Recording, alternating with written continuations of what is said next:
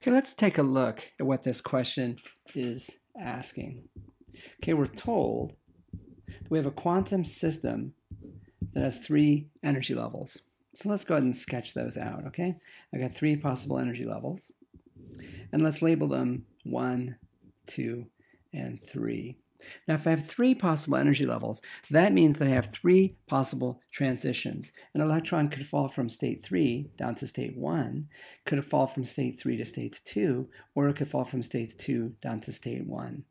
So if I'm looking at the emission spectrum, which corresponds to electrons falling from upper states into lower states, there's three possible wavelengths that I would expect. There's a wavelength corresponding to this transition, one corresponding to this transition, and one corresponding to this transition.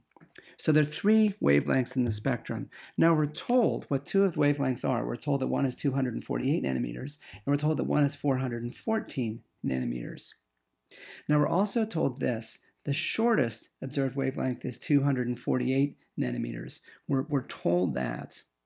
Now the shortest possible wavelength is going to correspond to the biggest possible energy because we know the energy of a photon is equal to Planck's constant times c divided by the wavelength. So short wavelength corresponds to big photon energy.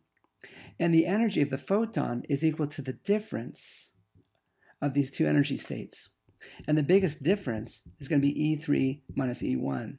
E3 minus E1 is going to correspond to the shortest possible wavelength. Now, 248 nanometers, okay, we can convert that to an energy using this relationship up here. The energy of this photon is Planck's constant times the speed of light divided by the wavelength. Those are all numbers that we know. And if I work out the energy of that particular photon, it corresponds to 5.01 electron volts. Okay, and this is a three significant figure problem, so I'm keeping three significant figures here. And that's the energy corresponding to the transition from state 3 to state 1. Okay? Now, let's go ahead and calculate the energy corresponding to the 414 nanometer photon. Okay, 414 nanometer photon. The energy of that photon, again, using the same calculation, h times c divided by lambda, just a different wavelength this time, is an energy of 3.00 electron volts. Okay? So, here's the photon energy corresponding to a transition from state 3 to state 1. That's my biggest possible transition. I also have one for 3 uh, electron volts. Now let's take a look at this. Let's suppose that state 1 corresponded to 0 electron volts, and we can assume that if we wish. That means that state 3 is going to correspond to 5.01 electron volts. Okay? Now, we're told also we have this 414 nanometer photon in the emission spectrum. That corresponds to a difference of 3 electron volts. I'm just going to assume that corresponds to this transition right here. So that means that state 2 has an energy of 3.0 electron volts, and so this photon corresponds to a transition from state 2 down to state 1. Okay? So this is our preparation. We've completely specified this quantum system. And now we're ready to solve.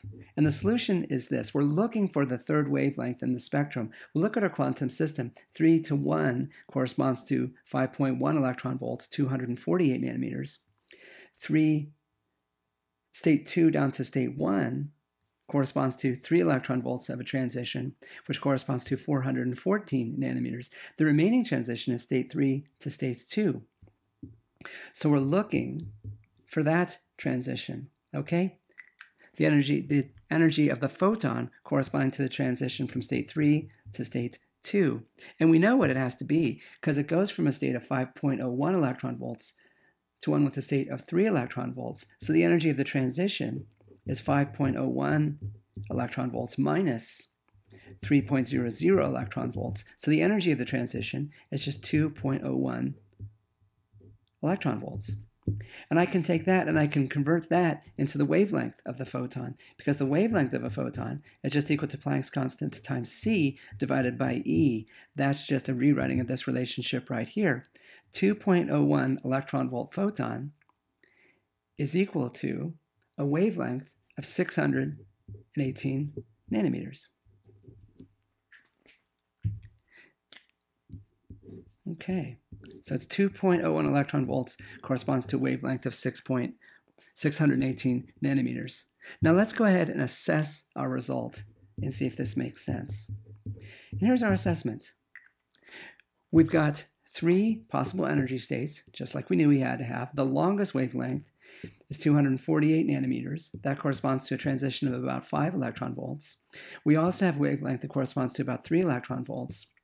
So the third state has to be a smaller energy. 3 down to 1 is 5 electron volts. 2 down to 1 is 3 electron volts. This is about 2 electron volts. That's in fact what we found. And so it's got to correspond to the longest wavelength in the spectrum. And the wavelengths are 248, 414. And in fact, we find this one is the longest wavelength, 618 nanometers. And so our final result, when all said and done, matches our understanding about how the world works.